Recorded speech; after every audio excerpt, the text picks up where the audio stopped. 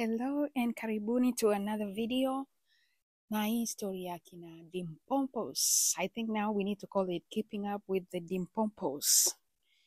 Sasa tumeona Mama Karo amekuja kuomba msamaha after kuchapana na mzee Dimpompos, mpenzi wake ambaye alikuwa ni mpenzi wake before mali ipotee na mapenzi iishe. Kumbe watu wengi ni mali tu ina, inawaweka kwa mtu. Mali ikipungua tu hivi unawaona wakianguka. They, they, they are dropping right now. Like seriously. Kimpompo is losing all his money, all his properties. Kwa sababu already mwanamke wake ametunza mali yao. Sasa tuliona Maria ni kama sasa ameanza kurealize kwamba hapa vitu za Dimpompo haziendi poa. Sasa ameanza kutetea Hosea juu ya ishu ya mtoto. Alafu mama Karo amekuja pia anataka kuomba sasa msamaha kwa mama Nguge because ameona alikuwa pesa zenye zilikuwa zinamweka kwa mzee zimeisha na wamekosana, na hata mimba haikuwa. Wa. Yaani, watu wanaweza kusingizia mimba just because wanataka pesa yako, na huyu mzee hata hakuwa na realize hao watu wanamchezea. Cause number one, Maria hakuwa amemzalia, aliclaim kwamba alikuwa na mimba yenye ilitoka. Pili, mama Karo alisema pia yeye alikuwa na mimba sijui ya miezi tatu nne. Saa hii mimba imeenda wapi?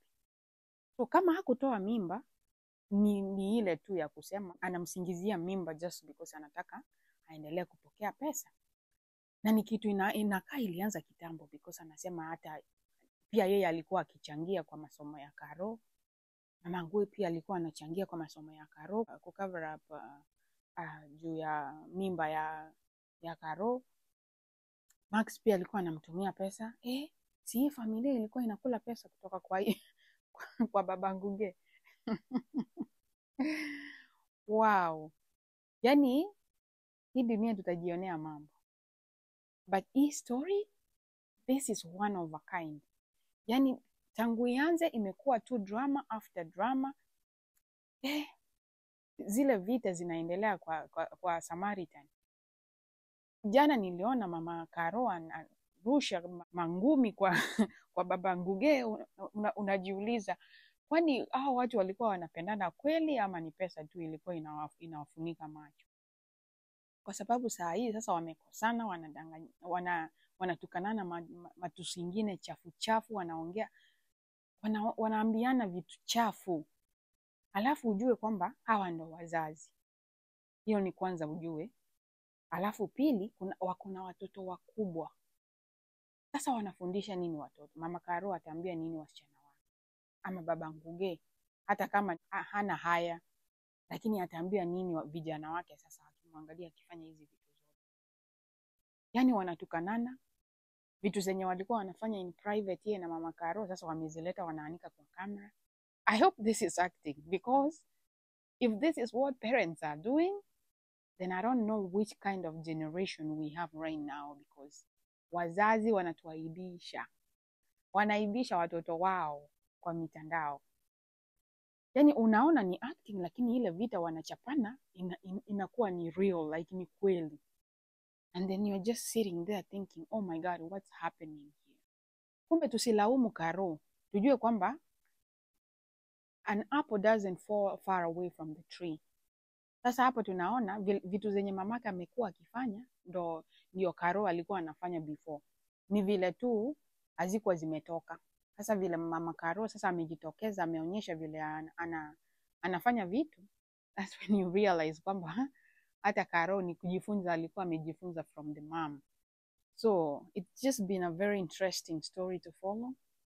Kila siku it's very interesting ni kama sasa wameanza kurudi wakiomba msamaha juu ya hizo vitu zote amefanya, na sijui alikuwa anaomba msamaha because wamekosana na mwanaume ambaye sasa alikuwa ni mpango wake wa kando, ama anaomba ile genuine msamaha kwamba alikosea.